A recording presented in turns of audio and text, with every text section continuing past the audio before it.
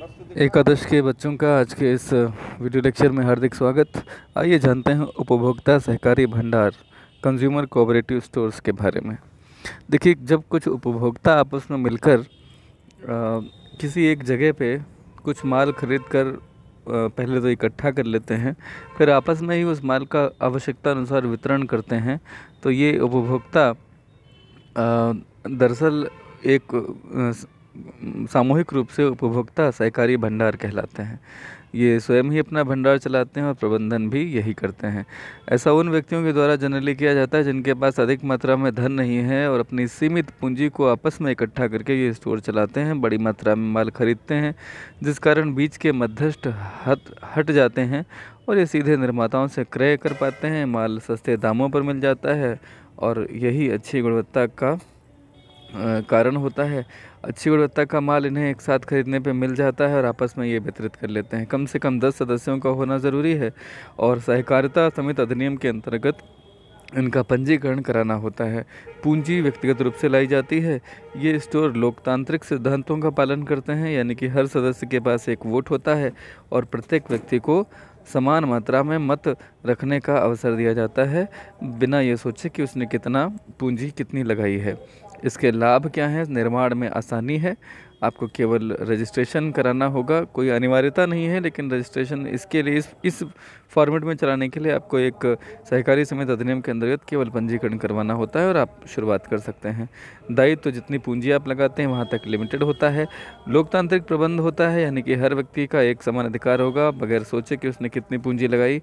कम कीमत पर आपको सामान मिल जाता है, जिससे आसानी से मध्यस्थों को हटा करके आप उनके कमीशन को ही अपनी बचत बना लेते हैं। यहाँ पर विक्रय नकद होता है, इसलिए कहीं पे भी डूबत की कोई संभावना नहीं होती है। और स्थान सुविधा अनुसार आप चुन सकते हैं। उपभोक्ता सहकारी भंडार की सीमाएँ क्या हैं? सबसे पहली बात आती है पहल की कमी। उपभोक्ता सहकारी संगठन में लाभ की आशा नहीं की जाती है, क्योंकि इनकी स्थापना का मुख्य उद्देश्य लाभ कमाना होता ही नहीं है। सदस्य ज़्यादा रुचि नहीं दिखाते, प्रेरणा एवं पहल की इसी वजह से यहाँ कमी होती है।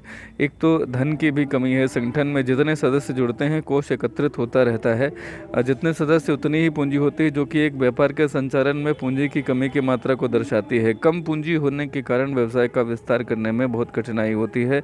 व्यावसायिक प्रशिक्षण की कमी, उपभोक्ता सहकारी भंडार सदस्यों के द्वारा ही चलाया जाता है, जो कि पेशेवर प्रबंधक नहीं होते। उनके पास व्यवसाय संचालन का कोई प्रशिक्षण नहीं होता है और इसी वजह से बहुत बार ये अच्छे से उसका कुशलता से संचालन नहीं कर पाते। पूंजी की कमी भी एक बड़ी समस्या आती है।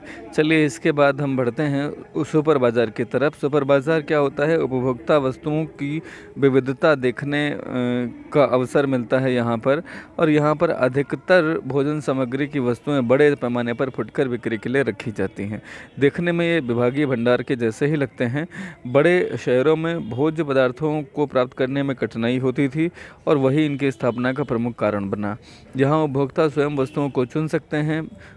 मुख्य भोज पदार्थों के लिए इसको स्थापित किया गया था। अब वहाँ पर विभिन्न प्रकार की वस्तुएँ भी खरीदी जा सकती हैं, जैसे कपड़े, दवाइयाँ, साबुन वगैरह। फ़िलहाल खरीदारी की जाने वाले बाज़ारों के बीच में ही इन्हें स्थापित किया जाता है। इनके अलग अलग खाने स्टोर में बने होते हैं, जिनमें वस्तुएँ होती हैं, जिन पर उनके मूल्य वगैरह लिखे होते हैं। आप वहाँ से अपनी आवश्यकता की वस्तु उपभोक्ता के तौर पर उठाते हैं और अपनी टोकरी में डाल लेते हैं। फिर वो बास्केट आप काउंटर पर ले जाते हैं, जहाँ पर वहाँ बैठा हुआ क्लर्क उस सामान का मूल्यांकन करता है और आपको एक बिल देता है, आप उसका भुगतान करते हैं। इस तरह का कार्य, पद्धति से यहाँ पर आप क्रय कर सकते हैं। इसके लाभ ये हैं कि सुपर बाज़ार सभी प्रकार की खाद्य सामग्री और कुछ गैर खाद्य सामग्री भी यहाँ उपलब्ध करा देते हैं। एक ही छत के नीचे सारी आवश्यकता की वस्तुएँ मिलती हैं। स्वयं सेवा सिद्धांत का यहाँ पर पालन किया जाता है, यानी कि सेल्फ सर्विस अपनी इच्छा से आप उसमें पसंद करते हैं, चुनते हैं, काउंटर तक लाते हैं और घर ले जा सकते हैं खरीदने के बाद। उपभोक्ता के मूल्य अन्य भंडारों की तुलना में सामान्यतः उत्पाद के मूल्य कम होते हैं, क्योंकि यहाँ विभिन्न प्रकार के डिस्काउंट ऑफ़र भी रहते हैं। यह नकद बिक्री के आधार पर चलाए जाते हैं। यहाँ उधार बिक्री बिल्कुल नहीं होती है, सुपर बाज़ार, बाज़ारों के बीच में होते हैं, इसीलिए इनका टर्नओवर भी काफ़ी ज़्यादा होता है। लाभों की अगर बात करें तो एक ही छत पर सारी वस्तुएँ मिल जाती हैं, कम मूल्य पर मिलती हैं। जनरली आपके शहर में ये केंद्रीय स्थान पर होते हैं, यानी कि हार्ट ऑफ़ द सिटी यानी कि वहाँ जहाँ आसानी से आप पहुँच सकते हैं। विस्तृत चयन यहाँ पे सिलेक्शन करने के लिए आपके पास ढेर सारे विकल्प होते हैं। आप अपनी पसंद की और रेट की वस्तुएँ खरीद सकते हैं, बृहद स्तर पर क्रय कर सकते हैं, क्योंकि ये करते हैं और इस वजह से लार्ज स्केल की बचतें भी यहाँ तक पहुँचती हैं। और इस वजह से बहुत बारी बहुत बारी वस्तुएँ जो होती हैं वह सस्ते मूल्यों पर मिल पाती हैं। सुपर बाज़ार की सीमाएँ यह है कि यहाँ उधार की सुविधा नहीं है और व्यक्तिगत आकर्षण नहीं है। अर्थात जो व्यापारी होता है वह अपने इच्छा अनुसार जब उसका ग्राहक आता है तो उसके साथ कुछ रिलेशनशिप बिल्डिंग कर लेता है, अच्छे से बातें करता है। यहाँ उस तरह की सुविधा नहीं है। आप अपनी पसंद से जाते हैं, सामान स्वयं निकालते हैं और स्वयं जा कर के काउंटर पे आप सिर्फ़ बिलिंग करा लेते हैं। तो व्यक्तिगत आकर्षण नहीं है, वस्तुओं का अस्त व्यस्त होना है। बहुत बार जो लोग ग्राहक आते हैं, वह वस्तुएँ उठाते हैं नहीं पसंद आती है तो उसे रख देते हैं लेकिन बेतरतीबी से रखते हैं इसलिए वस्तुएँ कभी कभी अस्त व्यस्त भी नज़र आती हैं यहाँ पर पूंजी बहुत ज़्यादा लगती है। चलिए एक और प्रकार है विक्रय मशीन का उसका भी आ, हम अध्ययन कर लेते हैं। ये मशीनें ऐसे स्थानों पर लगाई जाती है जहाँ पर व्यक्ति बड़ी मात्रा में गुजरते हैं। मशीनों के अंदर कुछ वस्तुओं के पैकेट रख दिए जाते हैं। मशीन में एक छेद रहता है, जिसमें निर्धारित टोकन या सिक्के डालने पर मशीन से वस्तु का एक पैकेट बाहर आ जाता है। इसके द्वारा सिगरेट, सॉफ्ट ड्रिंक्स, बच्चों की टॉफ़ियाँ वगैरह बेची जा सकती है। विदेशों में यह बहुत मात्रा में पाए जाते हैं। भारत में कुछ बड़े शहरों में दिल्ली मुंबई, बेंगलुरु आदि में यह देखे जा सकते हैं। इसके लाभ यह है कि चौबीसों घंटे वस्तुएँ उपलब्ध रहती हैं। ताज़ी पूर्ति मिलती है। वज़न और गुणवत्ता में कोई दिक्कत नहीं होती है प्रमापित होती हैं वस्तुएँ और विक्रेता की यहाँ ज़रूरत नहीं होती। हानियों की अगर बात करें तो शुरू में मशीन लगाने में काफ़ी विनियोग करना पड़ेगा। मशीन है तो नियमित रूप से मरम्मत करना पड़ेगा। मशीन है तो पहले से ही कंप्यूटर को पता होता है कि इस आकार का सिक्का होना चाहिए। यदि ये जो आ, ये आकार के जो कंप्यूटर हैं अगर सिक्का उनसे कम या ज़्यादा हुआ तो भी वह मशीन उससे नहीं लगी। नई मशीन आने से पुरानी को, जो टेक्नोलॉजी की मशीन है वो अप्रचलित हो जाती है, उससे नुकसान होता है और क्रेता वस्तु को एक बार ख़रीदने के बाद वापस नहीं कर सकता है। वस्तु निकालने की प्रक्रिया क्या है कि जो भी मशीन है आपको सबसे पहले जो भी मशीनें मशीन में जो भी वस्तुएँ हैं, उनका मूल्य आपको देखना होगा और उसके नीचे एक नंबर भी लिखा होगा। मूल्य और नंबर दोनों आपको मशीन में नज़र आते हैं। उनका प्रयोग करके हम वस्तु क्रय कर सकते हैं। दरअसल करना ये होगा कि मानिए कि आपको एक पानी की बोतल चाहिए तो उसका मूल्य अगर बीस रुपये है तो आपको मशीन में बीस रुपये डालने हैं। फिर उस उत्पाद का दिया गया नंबर आपको दबाना है। मशीन से वस्तु बाहर आ जाएगी और मशीन के भिन्न होने पर यह प्रक्रिया भी अलग अलग हो सकती है। वहाँ पर दिए गए जो निर्देश होते हैं उनको भली भांत पढ़ने के बाद आप आसानी से उसको ऑपरेट कर पाएँगे। बात करते हैं एक नए टॉपिक की वस्तु और सेवा कर की। जीएसटी की न्यू कई वर्ष पहले रखी गई थी। 2007 में आ, सरकार ने 2010 से जीएसटी लगाने के लिए प्रस्ताव रखा था लेकिन वर्ष 2011 में इसे लोकसभा में प्रस्तुत किया जा सका।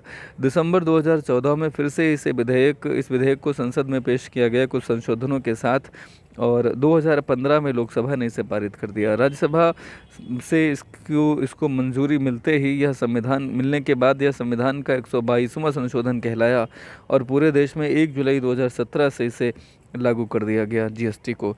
जीएसटी दरअसल एक अप्रत्यक्ष कर यानी इनडायरेक्ट टैक्स है और ये एक एकीकृत यानी इंटीग्रेटेड टैक्स है। इंटीग्रेटेड टैक्स इसलिए विभिन्न प्रकार के टैक्सेस जैसे कि केंद्रीय उत्पाद शुल्क यानी कि एक्साइज ड्यूटी सेवा कर यानी कि सर्विस टैक्स वैट यानी वैल्यू एडेड टैक्स मनोरंजन कर यानी एंटरटेनमेंट टैक्स इन सभी को अप्रत्यक्ष रूप से समाप्त करके जीएसटी में ही इंक्लूड कर लिया गया। इसीलिए इसे इंटीग्रेट इंटीग्रेटेड टैक्स भी कहा जाता है। अब केवल एक ही कर दिया जाता है अप्रत्यक्ष करों में, और वह है जीएसटी फ़िलहाल तीन हिस्से हैं इसके, एक तो आता है सीजीएसटी एसजीएसटी और आईजीएसटी सीजीएसटी दरअसल केंद्र वसूल करेगा एसजीएसटी राज्य वसूल करता है, और आईजीएसटी जो होता है, ये राज्य और केंद्र दोनों वसूल करते हैं। अब विभिन्न करों के बदले सिर्फ़ एक ही कर देना है, जिसका नाम है जीएसटी उसके बाद वो दो हिस्सों में विभाजित होता है, कुछ हिस्सा राज्य सरकार के पास जाता है और कुछ केंद्र के पास। ये सब पहले से निर्धारित विधि से होगा। जीएसटी का उद्देश्य क्या है? एकल कर पद्धति को अपनाना और पूरे देश में वस्तुओं और सेवाओं के मूल्यों में समानता लाना है। इससे विलासिता की वस्तुओं पर टैक्स ज़्यादा लगाया जाता है। बड़े स्तर पर उपभोग की जाने वाली वस्तुओं पर टैक्स जो है वह कम रेट से लगाया जाता है। सरकार ने जीएसटी के अंतर्गत 1211 मतों को रखा हुआ है। फ़िलहाल चार स्लैब हैं एक है पाँच परसेंट का बारह परसेंट का अट्ठारह और अट्ठाईस परसेंट का। भारत में अगर हम बात करें किन किन वस्तुओं पे जीएसटी नहीं है?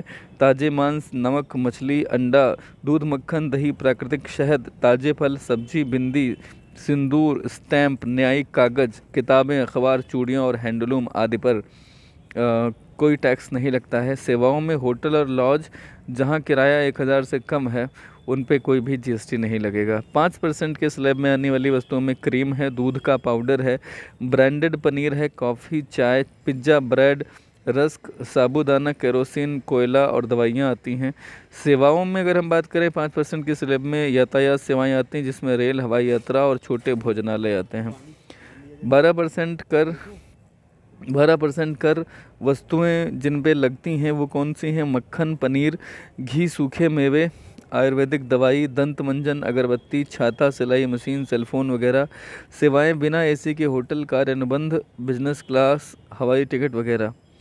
18 परसेंट जिनमें लागू होता है, रिफाइंड चीनी, pastry pastry, cake, jam, sauce, soup, ice cream, mineral water, tissue लिफाफे, स्टील उत्पाद, मॉनिटर वगैरह। सेवाएँ एसी होटल, टेलीकॉम सेवाएँ, आईटी सेवाएँ, ब्रांडेड कपड़े और वित्तीय सेवाएँ। 28 परसेंट में chewing gum chocolate, paint, deodorant deodorant shaving cream, shampoo, dye, water, heater और वॉशिंग वॉशिंग मशीन, एटीएम वगैरह। एटीएम मशीन से यह इनका तात्पर्य है। पाँच सितारा होटल होटल, सिनेमा, दौड़ क्लब, सट्टेबाजी वगैरह, ये सेवाएँ हैं जो 28 परसेंट में आती हैं। एक और टॉपिक है, आंतरिक व्यापार में कौन कौन से प्रलेख लगते हैं? तो प्रोफार्मा बीजक वो बीजक होता है, जब आप खरीदने से पहले ये जानना चाहते हैं विक्रेता से कि वह अमुक मात्रा में वस्तु में, किसी खास मात्रा में वस्तु में किन छूटों के साथ देगी। अगर हम 10 इकाइयाँ खरीदते हैं तो लगभग वो हमें सारी चीज़ों के बाद, पैकिंग, वैकिंग चार्ज लगने के बाद कितने का पड़ेगा? तो एक प्रोफार्मा बीजक यानी कि एक तरह का एक पहले से एक मॉडल मॉडल बीजक यानी मॉडल इनवाइस बना करके आपको दे दिया जाता है कि भाई अगर आप दस वस्तुएँ, दस इकाइयाँ खरीदेंगे तो ये इस रेट में इस तरह से पड़ेगा। उसे देखने के बाद अगर आप संतुष्ट होते हैं तो आप ऑर्डर कर देते हैं, तब जो आपको बिल मिलता है उसे वाणिज्यिक बीजक कहा जाता है। इसमें माल की मात्रा, कुल मूल्य, भुगतान की शर्तें वगैरह सब होता है। ठीक वही सारी चीज़ें होती हैं जो प्रोफार्मा बीजक में होती हैं। लॉरी रसीद क्या है? जब माल सड़क परिवहन से भेजा जाता है तो एक रसीद जिसे दिखा करके आप माल की डिलीवरी ले पाएँगे। लॉरी रसीद है, रेलवे से भेजे जाने की स्थिति में आपको जो रसीद रेलवे अधिकारी को दिखानी पड़ती है, तब वहाँ से आप डिलीवरी ले सकेंगे। उसे रेल की रसीद कहा जाता है। डेबिट रेट जो होता है, यह विक्रेता जारी करता है, जबकि माल के आदेश के अनुसार नहीं होता। यानी कि अगर कभी ऐसा हुआ कि आपने ये दरअसल क्रेता जारी करेगा। जैसे आपने माल क्रय किया, एक हज़ार रुपये का माल क्रय किया, लेकिन उसमें से एक सौ रुपये का माल ऐसा था जो क्वालिटी के अनुसार सही नहीं था, आपने उसे वापस कर दिया। तो ऐसी स्थिति में आप क्रेता के तौर पे विक्रेता को डेबिट नोट जारी करेंगे और डेबिट नोट में ये लिखा जाएगा कि सौ रुपये का माल वापस किया गया, इस वजह से आपको सौ रुपये से हम डेबिट कर रहे हैं। और वह विक्रेता आपको विक्रय वापसी उसके यहाँ से हो रही होगी तो वह आपको क्रेडिट नोट जारी कर देगा। फ़िलहाल एक और टॉपिक है वाणिज्य और उद्योग मंडल chamber of commerce and industry तो दरअसल वाणिज्य और उद्योग मंडल का गठन, उनके सामान्य हित और लक्ष्यों को बढ़ावा देने और उनकी रक्षा करने के लिए ऐच्छिक और गैर लाभकारी संगठन है। किसकी? वाणिज्य और उद्योग जगत की। ऐसे भारतीय, जैसे भारतीय उद्योग परिसंघ है confederation of Indian industry short में से सी आई आई बोलते हैं। Federation of Indian chambers of commerce and industry F I C C I short में इसे फिक्की बोला जाता है। इसकी स्थापना का उद्देश्य क्या था? व्यापार, वाणिज्य और उद्योग की सुरक्षा। ये किसी विशेष व्यापार या वाणिज्यिक समुदाय का प्रतिनिधित्व करते हैं। प्रत्येक राज्य का अपना अलग वाणिज्य मंडल होता है, जैसे उत्तर प्रदेश वाणिज्य मंडल, पंजाब वाणिज्य मंडल वगैरह। इनकी विशेषता यह है कि आंतरिक व्यापार को मज़बूत बनाने और उनका संवर्धन करने के लिए ये महत्वपूर्ण भूमिका निभाते हैं। सरकार के साथ माल, अंतर्राज्यीय गति में वृद्धि व कमी के लिए विभिन्न रीतियों का निर्माण करने में यह सहयोग करते हैं। सरकार के साथ साथ। तो इनकी भूमिका और कार्य क्या है? यातायात या माल का अंतर्राज्यीय गतिविधि। राज्य में वाहनों में रजिस्ट्रेशन, परिवहन नीति व राज्य में एक से दूसरे राज्य के लिए सड़कों का निर्माण, माल की गतिविधि के लिए यह सहायक होता है। कौन? वाणिज्य मंडल। चुंगी तथा अन्य स्थानीय शुल्क जब एक राज्य से दूसरे राज्य के अंतर्गत माल जाता है तो विभिन्न प्रकार के कर व शुल्क लगते हैं। संघ यह देखते हैं कि ये शुल्क जो है, ये नीति अनुसार हैं या नहीं। फ़िलहाल अभी चूँकि अन्य सारे शुल्क खत्म हो चुके हैं तो यह कार्य भी इनका खत्म हो चुका है। व्यवसाय समुदाय का प्रतिनिधित्व करना, अब अन्य समुदायों और सम्मेलनों में व्यापार मंडल का प्रतिनिधित्व करते हैं और सरकार को व्यापारिक समस्याओं से अवगत कराते हैं। जहाँ जहाँ कम्युनिटी कोई चल रहा होता है कॉन्फ्रेंस वगैरह तो इनके लोग रहते हैं प्रतिनिधि और सरकार को समय समय पर संज्ञान में उनके समस्याएँ लाया करते हैं। कर प्रावधान, यह संघ सरकार के द्वारा जो भी कर संबंधी नीतियाँ होती हैं उनमें योगदान देते हैं निर्माण में और निर्माण के पश्चात उसमें समीक्षा में भी नीतियों की समीक्षा करने में भी ये योगदान देते हैं। जैसे भी आप जीएसटी के रेट पढ़ रहे थे तो कई सारे ऐसे प्रोडक्ट थे जो पहले 28 परसेंट में थे, जिनको इनके कहने के अनुसार, इनकी सलाह के आधार पर 18 परसेंट में किया गया, कई 18 परसेंट वाले प्रोडक्ट्स को 12 परसेंट में किया गया। तो ये इस तरह के कर प्रावधानों में अपनी राय दिया करते हैं। कृषि उत्पाद तथा संबंधित मुद्रों, मुद्दों का बाजारीकरण, कृषि सामुदायिक जैसी संस्थाओं के साथ बातचीत करके कृषि उत्पाद की बिक्री बढ़ाने का कार्य करना इन भारतीय वाणिज्य मंडल का कार्य है। संघ कृषि उत्पादों के विपणन में भी इस तरह के जो संघ हैं, उद्योग भारतीय वाणिज्य मंडल वगैरह, ये संघ जो है कृषि उत्पादों के विपणन में भी महत्वपूर्ण भूमिका निभाते हैं। ब्रांड की नकल तथा भार व माप, यह सरकार के साथ वस्तु तथा सेवा की माप तथा भार और ब्रांड से संबंधित निरीक्षण से संबंधित नियमों और नीतियों के लिए मंडल को सुझाव देता है, ग्राहक के लिए, हित के लिए, सुरक्षा के लिए सारे कार्य करता है, जो आवश्यक हैं। उत्पादन शुल्क उत्पादन शुल्क अब लागू नहीं होता है, छोड़ दीजिए। आधारभूत संरचना को बढ़ावा, यह व्यापार के निर्बाध संचालन के लिए आधारभूत संरचना, जैसे परिवहन व्यवस्था, भंडारण व्यवस्था ये सब व्यापार को चाहिए होता है तो संघ सरकार के साथ परिवहन व्यवस्था में भी सहायता किया करते हैं। श्रम विधान, यदि श्रम संतुष्ट हो तो व्यापार में लगन के साथ कार्य करता है, मेहनत से कार्य करता है, श्रमिक की आवश्यकता है कि मजदूरी, सुरक्षा और स्वास्थ्य के लिए विविध कानून व विधान बने। इसमें वाणिज्य मंडल जो है सरकार के साथ श्रम कानून, श्रम कल्याण क्षतिपूर्ति विधान आदि पर विचार विमर्श करते रहते हैं। तो उपयुक्त प्रकार से आप कह सकते हैं कि वाणिज्य और उद्योग मंडल व्यापारियों के पक्ष में कानून में संशोधन तथा परिवर्तन करने के लिए उद्योगपतियों के बीच विवादों के निपटाने हेतु तो आचार संहिता निश्चित करने, शिक्षा तथा अनुसंधान के लिए व्यावसायिक क्षेत्र के लिए शोध के बारे में सदस्यों को सूचित करता है। वाणिज्य मंडल सदस्यों के बीच विचारों के विनिमय, सम्मेलनों की व्यवस्था वगैरह करता है। व्यापारिक मदें कुछ और टर्म आते हैं जैसे सुपुर्दगी पर नकद अदायगी।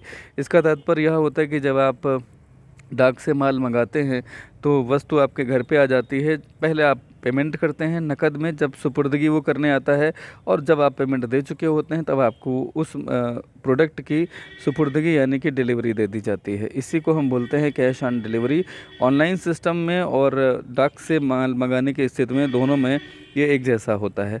बीमा और भाड़ा जब आप विक्रेता जब माल को किसी को बेचता है तो वह उसके घर तक पहुंचाता है तो यहाँ पर ये देखा जाता है कि उसने जो विक्रय मूल्य लिया है, क्या उसमें बीमा और भाड़ा शामिल है? अगर ऐसा नहीं है तो इसे अलग से लिया जा सकता है। अगर उसमें शामिल है तो ये विक्रेता ही वहन करेगा। ठीक है, इंश्योरेंस और फ्रेट आप समझ चुके हैं। जहाज़ तथा निशुल्क या रेल तथा निशुल्क। जहाज़ तथा निशुल्क या रेल तथा निशुल्क। इसका मतलब यह होता है कि जब आपको आप विक्रेता के तौर पर किसी को वस्तु बेचते हैं तो उसमें जो आपने मूल्य उसे बताया है, क्या उसमें वह फ्री ऑन बोर्ड है? इसका मतलब ये है कि अपने गोडाउन से लेकर के रेल पे माल लदवाने तक का खर्चा विक्रेता उठाएगा। या अगर वो आ, पानी के रास्ते से जा रहा है तो जहाज़ पे माल लदवाने का खर्चा विक्रेता उठाएगा उसके बाद में जहाज़ का या रेलवे का किराया वगैरह ये सब क्रेता उठाएगा। तो अगर ऐसा मूल्य है तो इसे कहा जाता है फ्रियान बोर्ड प्राइस या फ्रियान रेल प्राइस एफओआर या एफओबी।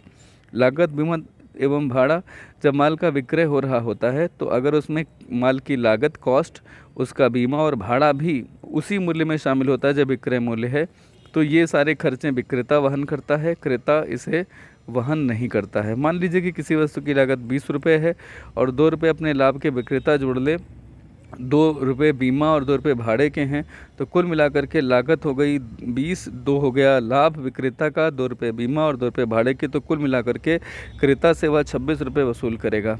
अलग से उसे बीमा, भाड़ा ये सब नहीं देना पड़ेगा। भूल चूक माफ़ी दस्तावेज़ का मतलब है कि अगर विक्रेता ये लिखता है कि हमने जो भी दस्तावेज़ आपको बना के दिए हैं या जो भी वस्तुएँ भेजी हैं, अगर उसमें कोई भूल हो गई है, कोई चूक हो गई है तो आप उसे हमारे संज्ञान में लाएँगे और हम उसे उस ज़रूरी जो कार्रवाई होगी वो करके उस गलती को सुधारेंगे। तो ये भूल चूक माफ़ी दस्तावेज़ कहलाते हैं। ई एंड वो ई लिखा जाता है इसमें एरर एंड ओमिशन एक्सपेक्टेड यानी कि एरर और ओमिशन हो सकते हैं। इसी के साथ ये चैप्टर पूरा होता है। चैप्टर के बाद में अभ्यासी प्रश्न जो दिए गए होते हैं, इन सभी को बहुत अच्छे से आपको पढ़ना है, याद करना है यहाँ से, और अच्छे से मेहनत करनी है। बहुत बहुत आभार आप सभी का।